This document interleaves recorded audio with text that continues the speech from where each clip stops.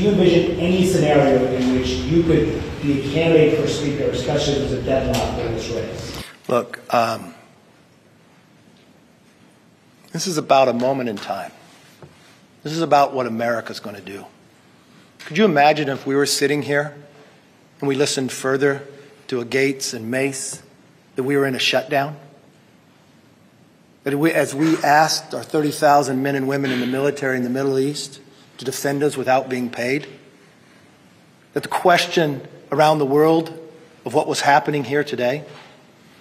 That's a decision by the conference. I'll allow the conference to make whatever decision. Whether I'm speaker or not, I'm a member of this body. I know what history has had, and I can lead in any position it is. What message does it send to our allies, to the rest of the world, that the House did not elect a new speaker? It's wrong. It's wrong. The whole action. I think the basis why it took place. Because I made a decision to keep government open. What if government wasn't open? How weak would we be then?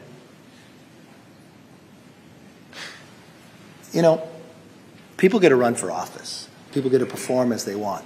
Sometimes people perform for their own personal. But there comes a moment in time that people should stand up for that.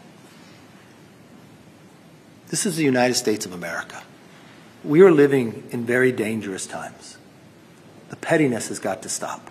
It's not just electing somebody that's new, it's whether you want to be a conservative who will govern. That's the question the conference has to realize. And for the idea that you allow eight people to continue to do that with no consequences, no one's going to be successful.